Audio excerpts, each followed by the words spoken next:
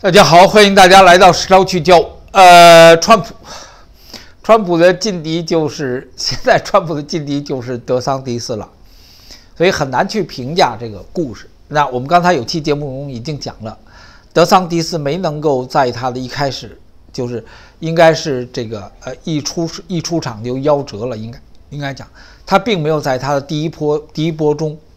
对川普形成任何巨大的威胁，没有。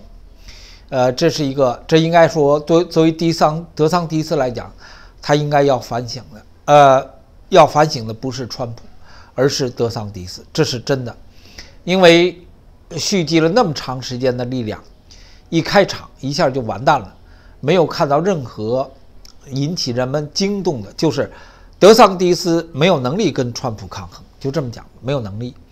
在整个的共和党范围当中，在他的。独立人士的范围当中都没有能力，那你从从另外一点上呢，你也看到那些反对川普的势力，也并没有能够说大范围的去推崇德桑蒂斯如何来为了攻击川普，因为不喜欢不喜欢川普的人会竭尽全力去打击川普，对不对？那用德桑蒂斯去打击川普是非常非常好的，就是。那借力打力是一件非常有有趣的事情，那那都是德桑蒂斯说的，又不赖我说的，so what，right？这德桑蒂斯跟你老头子过不去，那活该，那那那你可以随便说，但是很很显然，你看不到这样的风波，看不到这样的故事，是因为德桑蒂斯对比对比川普来讲太弱了，他的一一出场就太弱了，所以让太多的人失望，让恨川普的人失望。那德桑蒂斯本身又作为一个政客，他展望未来是八年，他知道这第四第一个四年不太那个，对不对？他展望未来是八年，他成立的组织也是八年计划，那他他支持他的结构组织也是八年计划。那川普不一定支持他，对吧？但是呢，川普即使成功了，也就再干四年。所以德桑蒂斯作为一个政客，他有他的一个相当完整的这么一个铺垫。这个铺垫没有什么太多过错，我们只是跟大家说，德桑蒂斯毫无撼动川普的实力，展现出来的客观事实，啊，没有没有这个实力。如果第一炮就就哑炮了，那就完了，对不对？那那那那你后头他他放不出来了，不是他想不想放，他放不出来了，他在后面他只能需要川普的错误或者其他的什么事情的发生。啊，我我跟大家解释啊，很可能其他其他的事情的发生，把我们眼前的故事看到的一切全都更改了，一切都更改了。那没发生的，我们也没有资格去跟大家表态，我个人也没有资格去跟大家表态，所以我们只能顺着现在的状况去讲。就像有朋友说说，涛哥，你是不是有些东西讲天意了？呃呃，基本都是我个人理解的，所以一个个人理解的用。我我我天幕也不开，什么也不知道，就就完全凭借就一闭眼一睁眼一闭眼，就这么说的，所以有误不算错，因为你在迷中，在迷中不算错呀，对不对？那个那个那我那那我就这么觉觉得，就仅此而已。所以我们吻合这个环境，如果朋友你觉得是天意的话，那是你觉得，那那也可能就是说，在人的环境中，真的有人能蒙到这东西。仅此而已，我我个人觉得是这样。所以，川普也好，德桑蒂斯也好，美国的未来也好，那我个人看的更以为呢会出大事情。我一直跟大家说会出大事情。三年的中共病毒都是铺垫，就是真正的大事情就是这最后一下结束了，最后一下结束了，最后一下人们看到的科学的卑鄙，最后一下人们将经历。因迷信科学而带来的迷障跟灾难，我这么我觉得这么讲是对的。呃，人们迷信科学，从而羞辱了神。那上一期节目《佛祖的日子》就这个故事，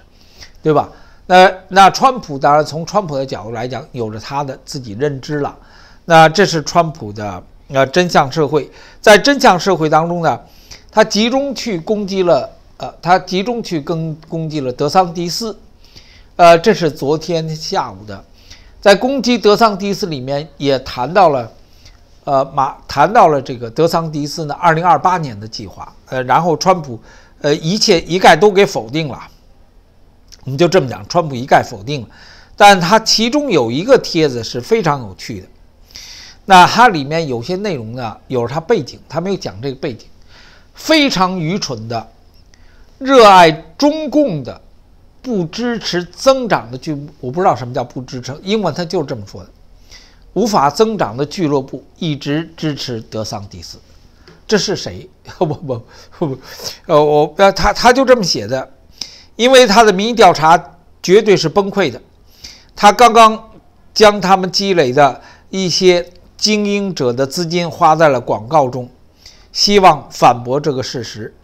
也就是说，德桑蒂斯刚刚经历了历史上最糟糕的总统的启动，没错。所以这就这是川普的很敏锐的地方，因为他对川普一点都没撼动，一点都没影响。这真的是真的是 真的，因因为我们过来了，对不对？星期三启动的，所有的所有东西都聚集在一起了，我们没有看到对川普的影响，这是他致命的地方。那那一而竭再而衰，那三而亡都 so what？反正基本上都是三下。你第一下带着一种天意来的，等到人那儿就衰败。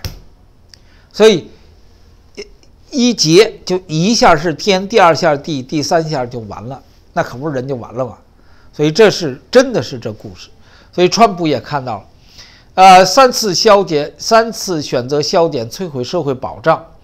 呃，提高社会的最低年龄到七十岁，呃，他们还投票削减。医疗保险什么呃相应东西，那川普呃呃德桑迪斯是个失败者，是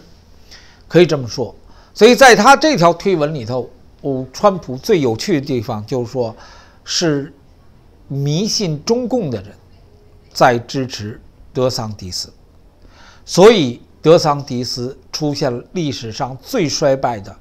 总统竞选总统的启动规模，没有伤到川普一根毛。呃，这里面呢，当然，川普是站在他自己角度去说的，那我们是站在另外一个角度去看，即使在美国的保守派的势力当中，如果真的德桑迪斯的失败是因为与中共连在与中共势力连在一起的俱乐部而出现场面的话，那这就是对所有朋友的一个启迪，一个启示了，真的是个启示。那表示着在美国社会中，党派的利益就是。站在党党派的政治党派的利益当中，你会看到他的衰败。而川普自始至终在保持他个人的独立性，他个人的独立性总有着一种军权背书、军权神神兽的故事。但是呢，川说，我一直跟大家解释，川普个人的弱点太明确啊，太明确。这个东西就说要他的命，嘴巴太碎，话太多。心眼太小，他因为心眼小，所以就嘴不碎；心眼小，所以就大嘴巴。不支持我的，你们都是敌人。他有这个成分喽。这个东西在社会的层面，即使在保守的观念的人士当中，是不应该有的。因为总是要有包容的、宽博的、融洽的，对不对？而不是用话语去伤人的，话语最能伤人。所以你看，那个佛家里都讲叫修口，呃，是这么回事。所以川普呢，什么都好，人也好，怎么样都好，就是他他的致命的弱点。这样这一份致命的弱点，将会影响到他什么东西？他很多麻烦是自己带来的，是嘴巴造成的。那这些麻烦，人说这就是他锤炼的过程，不是，这是江山易改，秉性难移的过程。这是江山易改，秉性难移的过程，所以这是一个，我觉得我们作为很多支持川普的朋友，有能力去面对这一份生命的真实，也是对自己的尊重，因为我们处在一个历史上巨大变革的年代，在谈到大选的时候，其实你让我说真，我真正以为的是二零二四年川普都选不了了，为什么？用不到二零二四年。到了今天是五月二十八号，到了今年年底，搞不好是 AI 统领一切，AI 统领着社媒，AI 统领着主流媒体，AI 统领着民意调查，AI 在左右着美国大选的一切，